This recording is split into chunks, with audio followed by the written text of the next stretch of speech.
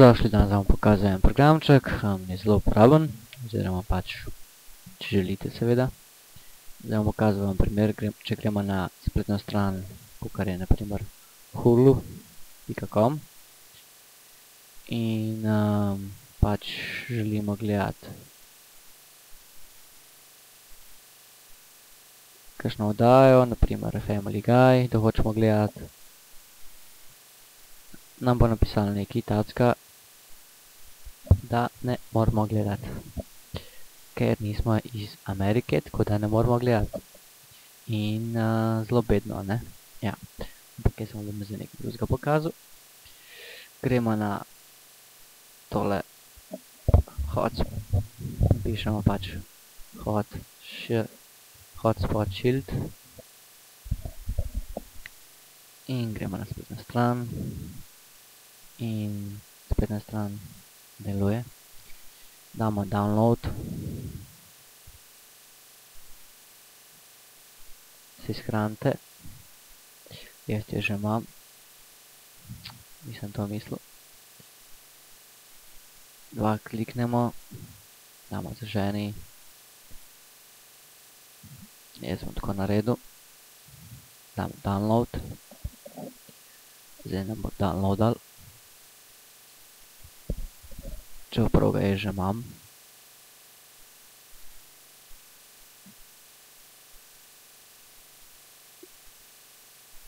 Da si jo inštaliram. Imam tlele neki, mora biti, evo ga.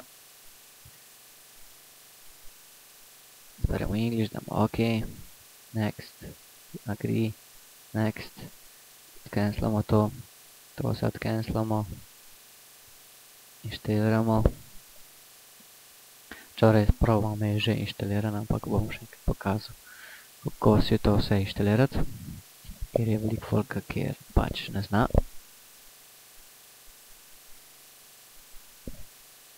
Damo next, to vse tudi cancelamo, next, to si lahko naredite, ampak jaz že imam ga inštaliran in vse, tlele spodi oziroma zdajle ga ni, ker sem še enkrat inštaliral. Zdaj ga bom zagnal. Takole bo izgledal. Mora narediti, da je connected.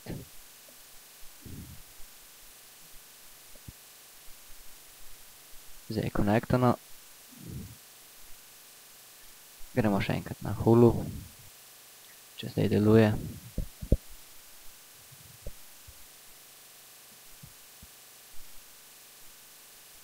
No, seveda ta reklama, ki je tle gor, to samo zdaj, toliko imate ta program, počem drugače teh reklam. Ni. Um, naprimer, gremo gledat karkoli.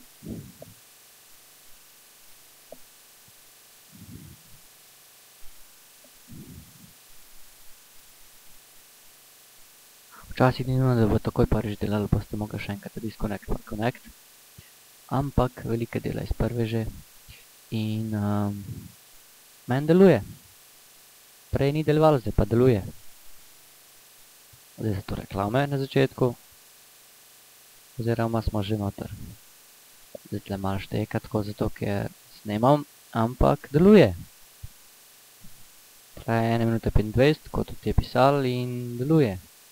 Napiše 1 minuta 25, 1 minuta 25 in deluje, čist preprosto, pač zdaj, ste, zdaj imate ameriški IP, zato vam deluje.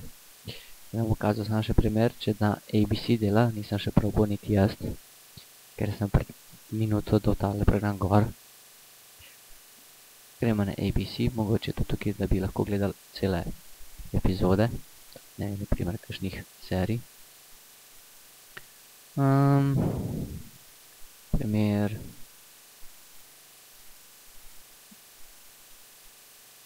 Ja, zdaj ste tukaj ne, da gremo napisati. Lost.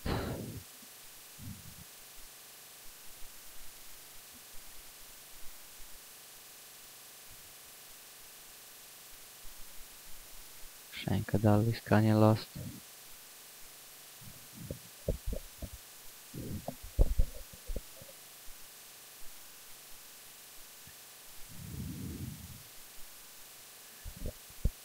Na, na, na, na. No, na primer, 17 epizodo, če lahko gledamo. Bomo preverili. Zdaj bolj mička mogoče vam bolj bo počasi deloval internet, ker imate pač ameriški IP in do Amerike je ful pinga, ampak če deluje, bo delovalo.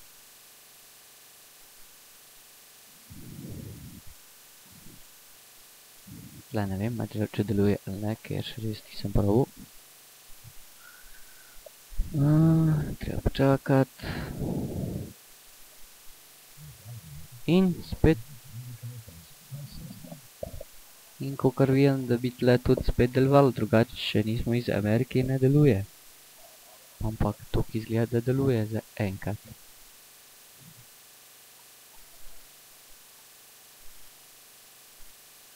Malo sovražim reklame. Ko bo video zagnalo, bom to naprej. In kot vidite, deluje. Brez da bi oziroma s tem programom imate pač ameriški IP in deluje. To je bilo to danes za vas, da sem vas naučil, pač kvečjemu deluje tale program. Imate ameriški IP. Zdaj pa seveda, če ne veste, kako si ga izklopiti, imate tulele zeleno ikonco. Date properties ali pa takoj direkt disconnect, date cimar properties. Vam bo šlo na internet. In date samo tulele disconnect. Zdaj na primer, če grem na domov, ni več tistih reklam, ker je program izključen. Kaže z rdečo. Dam exit in zdaj, če gremo na primer spet na pregledamo, kateri IP imate. Imate svoj domači IP, kakor ste ga imeli prej. To je pa to. Hvala za ogled, ajva zdrav.